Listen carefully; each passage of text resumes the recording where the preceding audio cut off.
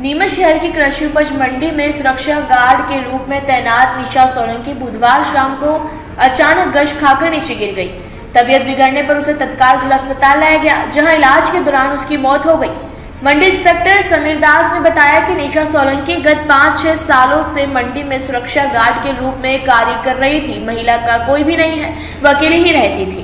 Police चौकी से प्राप्त जानकारी के अनुसार बुधवार शाम को निशा सोलंकी की तबियत बिगड़ने पर उसे अस्पताल लाया गया था, जहाँ इलाज के दौरान उसकी मौत हो गई।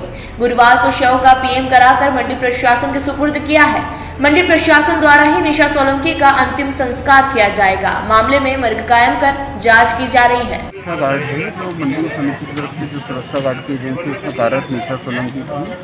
अपने कार्य के दौरान उसका स्वास्थ्य अचानक खराब हुआ और उसको कुछ हार्ट में और ऐसी दिक्कत महसूस हुई तब हम गेट पे ही थे और ऐसी महसूस हुई तो तुरंत उसको जो है हॉस्पिटल लेके आए। हॉस्पिटल में इलाज डॉक्टर जो भी उपस्थित डॉक्टर साहब थे, उन्होंने इलाज शुरू करा। उस बीच उसकी जो बीपी वगैरह बहुत ज़्यादा नीचे आ गई, डॉक्टर साहब के अनुसार। और उसकी थोड़ी देर पश्चात उसकी डेथ हुई।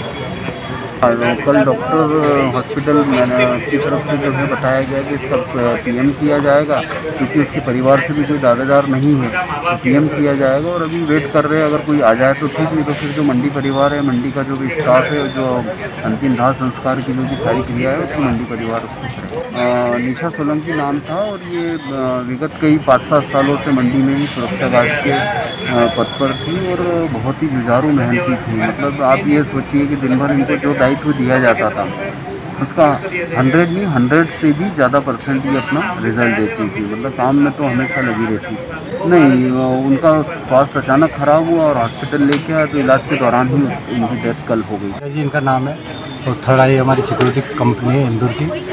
उसमें हम काम करते हैं मंडी में। और पाँच बजे करीब इनकी ड्यूटी पे थे ये। और इनकी तबीयत ख़राब हुई। तो तबीयत ख़राब जैसे जी घबराया, उनका तो हम उनको हॉस्पिटल में लेके गए। तो सिविल हॉस्पिटल में ले गए थे, सिविल हॉस्पिटल में बोला, बोले, अभी हम, हमारे बस की बात नहीं, आप, सिविल हॉस्पिटल ले फिर सिविल हॉस्पिटल में लेके गए तो वहाँ पे उन्होंने बोल दिया, भाई, ये भी हमारे बस की बात नहीं, आप दूसरी जगह जाओ।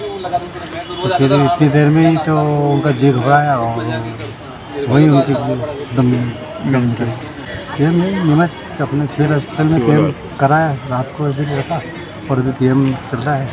परिजन तो इनके अभी तो कोई सबको सूचना दी? नहीं आया। इनका दाह संस्कार मंडी समिति से और थोड़ा ये कंपनी है उनके सहयोग से जो कैंट शमशान घाट है वहाँ पे किया जा रहा है। नीमच से आसिफ अली की ये रिपोर्ट